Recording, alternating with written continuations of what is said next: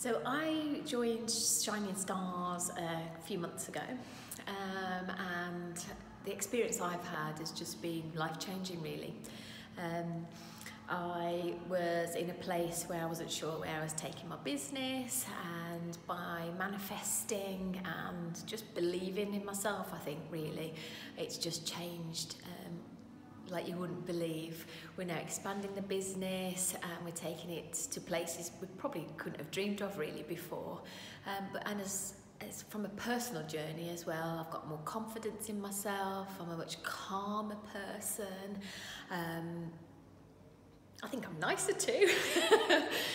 um, out words now. Sorry. so, what would you say to somebody who's who's on the fence, who's thinking about needing something or doing something? What would you say to them about how they might be feeling pre thinking about joining? I think you you, you know you're concerned. Um, will it work? Well, I can categorically tell you it will work.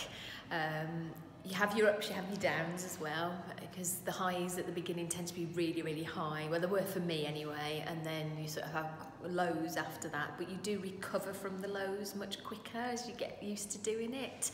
Um, but yeah, if you're concerned whether it will work or whether it won't, um, if you're even considering it, then I think you're in the right place and you should go for it.